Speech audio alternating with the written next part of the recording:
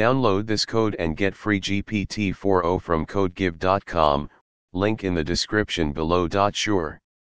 In Python, a tuple is an ordered collection of elements enclosed within parentheses.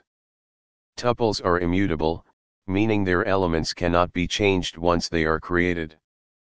To take tuple input from a user in Python, we can use the input function to get a string input and then convert it into a tuple using the eval function. Here is an example code snippet that demonstrates how to take tuple input from a user and return the tuple. In this code, 1. We ask the user to enter a tuple of numbers separated by commas. 2. The input string is converted to a tuple using the eval function.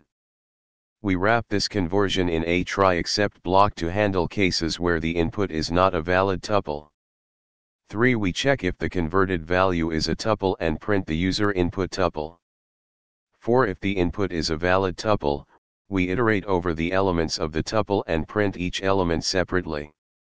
You can run this code in a Python environment to test taking tuple input from a user and displaying the elements of the tuple.